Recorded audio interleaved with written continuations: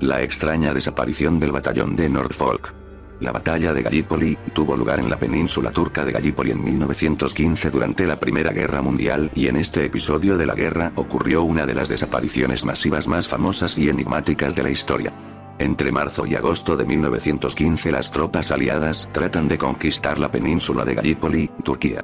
El 21 de agosto, al sur de la bahía de Suila, 22 soldados neozelandeses pertenecientes al cuerpo de ingenieros observan desde una posición elevada como tropas del Comando Unido de Australia y Nueva Zelanda, QUANZ, intentan tomar la costa 60.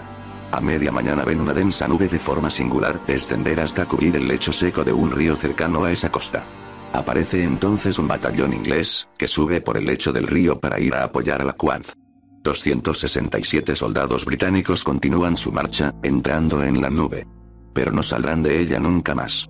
Nada más desaparecer el último de los ingleses en su interior, la nube se eleva suavemente para alejarse flotando poco a poco, en dirección contraria a la del viento.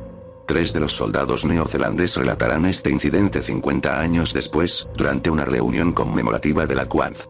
Documentos de la época corroboran que un batallón del regimiento Norfolk, el quinto, desapareció en Gallipoli durante un ataque, pero demuestran también que los tres testigos, tal vez por el tiempo transcurrido desde entonces, cometieron bastantes imprecisiones en su narración.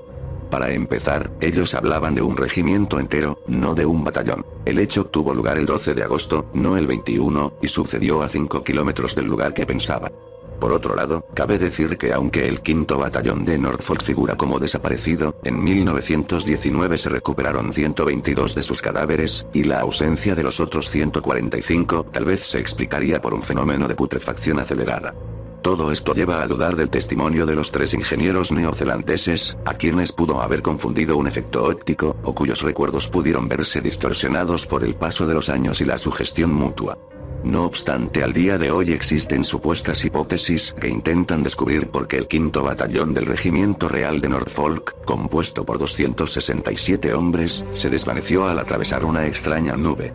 Incluso está más que presente el tema de la abducción, realidad o leyenda, Quizás algo de ambas, ya que el batallón de Norfolk no es el único grupo de soldados desaparecido misteriosamente a lo largo de la historia. En 1707, 4.000 hombres del archiduque Carlos de Habsburgo desaparecieron sin dejar rastro mientras cruzaban los Pirineos. En 1858, un cuerpo expedicionario francés de 650 zuavos se evaporó camino de Saigón. En diciembre de 1923, 3.000 soldados chinos apostados a lo largo del Yangtze se volatilizaron durante la noche, tal vez nunca sepamos la verdad de estos sucesos, pero no cabe duda que existe la posibilidad de que sigan sucediendo a lo largo de la historia.